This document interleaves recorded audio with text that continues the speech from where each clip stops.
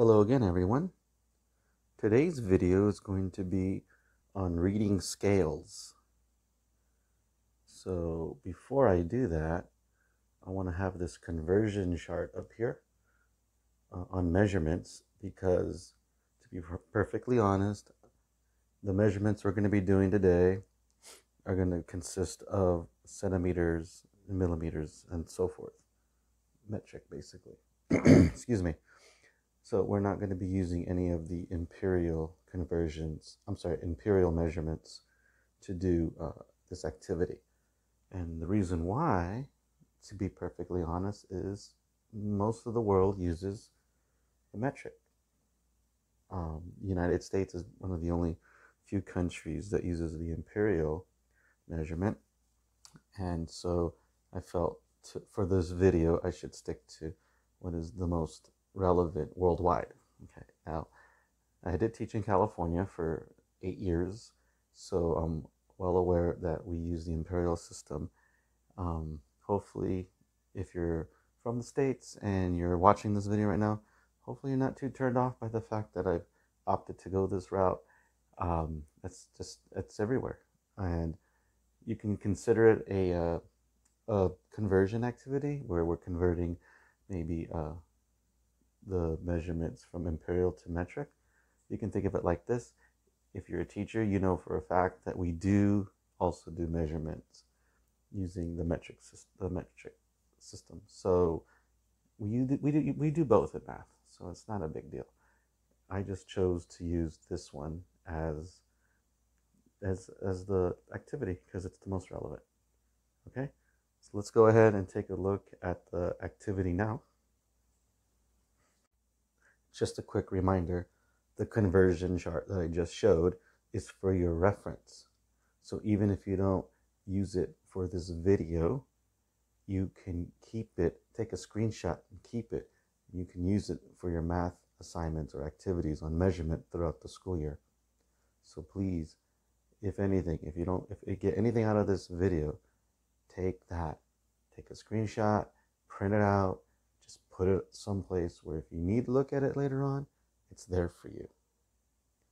So today's activity, like I said, is we're going to be reading scales.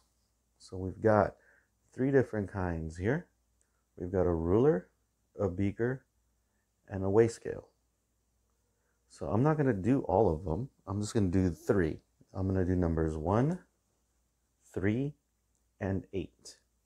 And then I'll leave the rest of them for you to do. So that will be your bonus activity.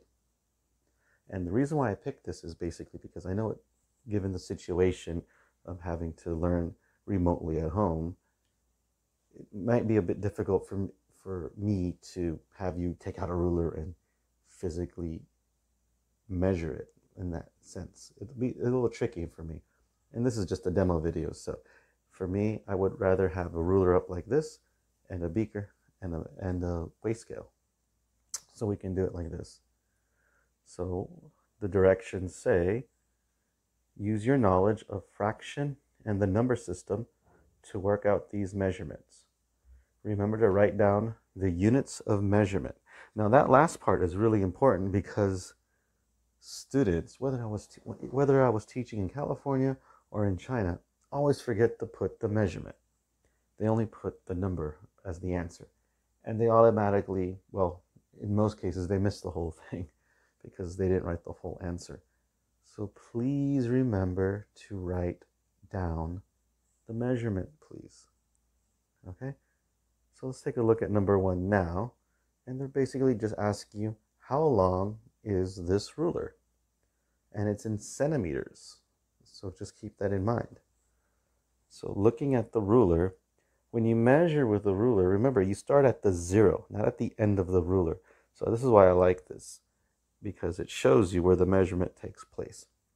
So starting at the zero, you're going to go all the way up past four centimeters, and then you can see there's 4.5 centimeters, and it goes slightly past that. So the answer is 4.6 centimeters. Number three asks you, how much is this measurement? and it's in milliliters.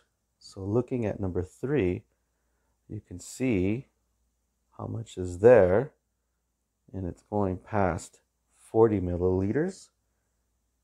And you can see counting, it's counting by fives, it's 45, then 50, then 55 is where the measurement is at. So the answer for number three is 55 milliliters. And number eight is asking you, how heavy is this? And the answer is going to be in grams. So looking at this scale, you can see it goes past 50, but it's not quite on 60. You can see by counting that the answer is going to be 56 grams. And if you're a bit confused on how I got 56 grams, if you look closely at how the measurement count is taking place, if you go from 50 to 60 and you count all the lines, they're going by twos. So if you count two, four, six, you'll see that number eight, the measure, the weight, excuse me, for number eight is 56 grams. So this is just a measurement activity I wanted to do because I really haven't done anything on measurement like this. So you can do the rest now. You've got three examples. You got one, three, and eight to guide you to do the remainder of the problems. You, as you can see, it's all the same. And uh, just write the measurements down and make sure you put the unit of measurement. I forgot to, I mentioned just the measurement part, but please make sure you write the unit because if you don't, you're going to miss the whole thing. That's usually what happens. Okay? And if you're not comfortable with this type of metric measurement, go back to the beginning of the video and look at the scale I gave you, the conversion scale, to guide you. Okay? Now I'll leave a link down in the comments in the description below. I'll leave it in the description on where you can find more resources like this because I pulled this off of the internet. So I'll put that down. I'll put the link down in the description for you so if you would like to look at more items like that or more activities like this, it's there for you. Okay? So hopefully you're going to print this. You're going to have to print this out if it's possible. If not, you're going to have to take some time to draw it up to do. And just make sure you write the numbers very clearly when you do it. And you can submit it back to me. As long as it's clearly written and you did it on a separate piece of paper, I'll be okay with that. As long as, again, as long as the answers are clearly written and I can see the measurements are very clear, I'll be okay with that. So please take your time when you're drawing these up if you don't have a printer available. And again, as always, thank you for spending part of your day with me and watching my video. I always appreciate you uh, spending this time with me and I look forward to seeing you on the next video. Thank you once again for joining in today's lesson. Please message me through Facebook Messenger or you can email me at jollyformore at gmail.com to learn more about my online tutorial service. Please leave a comment down below. If you know someone interested in hiring an online tutor, share this video. And if you would like to get a bell notification for all my newest videos, please subscribe to my channel. I look forward to seeing you again in my next video. And until then, please be safe out there. Have a great day.